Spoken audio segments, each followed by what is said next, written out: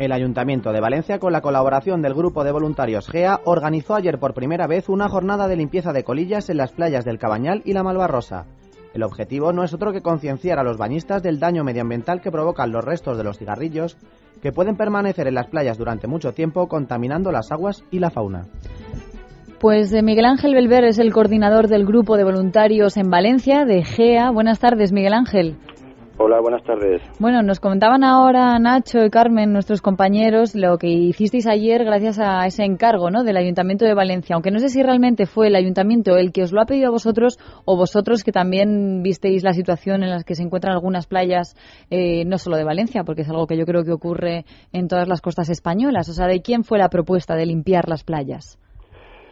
Bueno, eso yo creo que no sería lo importante pero vamos, la verdad es que eh, el Grupo GEA de voluntariado forma parte de Itaca Espacio Cultural y que es también una asociación eh, no gubernamental. Entonces, nosotros pensamos en que sería bueno hacer una limpieza de un espacio público y aquí en Valencia las playas son muy importantes, eh, pensando un poco antes de que se iniciara la campaña pero para que nuestra acción tuviese también una utilidad, pusimos en contacto, en lugar de hacerlo por una iniciativa propia nuestra, nos pusimos en contacto con el ayuntamiento para ver eh, cuál era la mejor forma de colaborar de manera que fuese lo, más necesario, ¿no?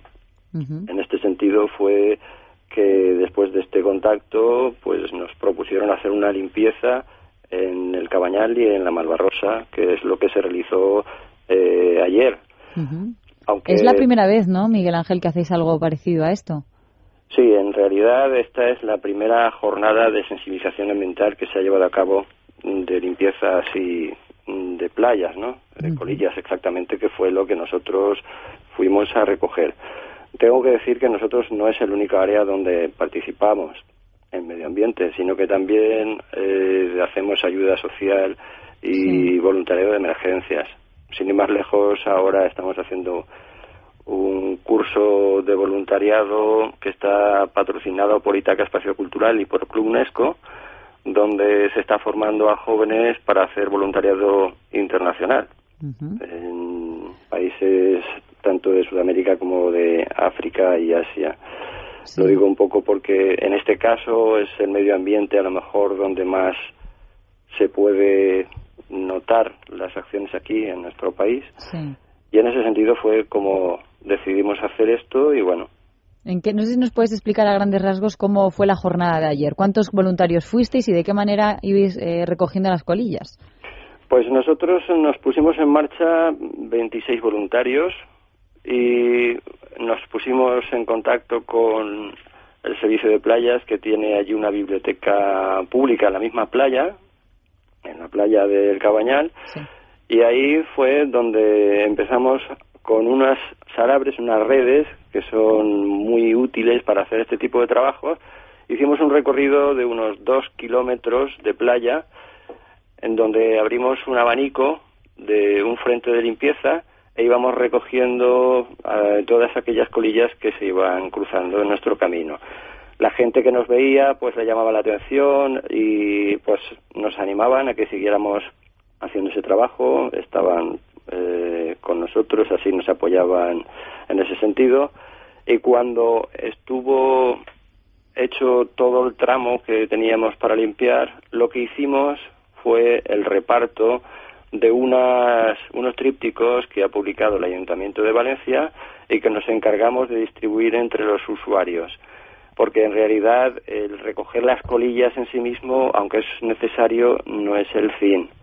La idea sería que los usuarios se conciencien de que las colillas no tienen posibilidad de recuperación con las máquinas de limpieza, que a lo mejor la gente claro, no porque lo sabe. Miguel Ángel, no sé si usted es fumador o no lo es, pero... Pues yo no soy fumador, y pero lo he sido. ¿eh? Entonces tampoco es que nosotros estemos haciendo una campaña contra los fumadores. No se trata de, no, que, de no, que no, no se es la educación, eso es verdad, está sino claro. que se tenga un poco de respeto con el medio ambiente y con los demás y se recojan las colillas y se tiren pues en el lugar adecuado. Pero a lo mejor Miguel Ángel, no sé si vosotros pensáis que un fumador pues está en la playa tranquilamente, se fuma su pitillo y después coge y tira la colilla, pues es verdad que hay gente que va con su cono, este de plástico, lo tira ahí y no hay ningún problema, pero hay otros que a lo mejor lo tiran directamente a la arena, pero porque piensan que será limpiado al día siguiente, que pasarán esos tractores que pasan a la madrugada y, limpiarán la arena, pero en este caso no es así, ¿verdad? O sea, esos tractores no, no pueden limpiarlo. Y eso es lo que nosotros intentamos hacer con, esta jornada de sensibilización, que la gente se dé cuenta de que esas colillas no desaparecen, sino que quedan ahí y se van acumulando, ¿no?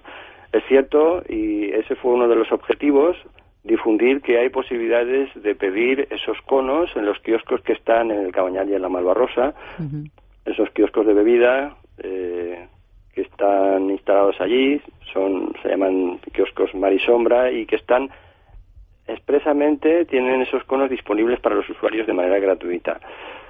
Así, eh, bueno, pues hay gente que ya puede, ya sabiéndolo, los puede utilizar.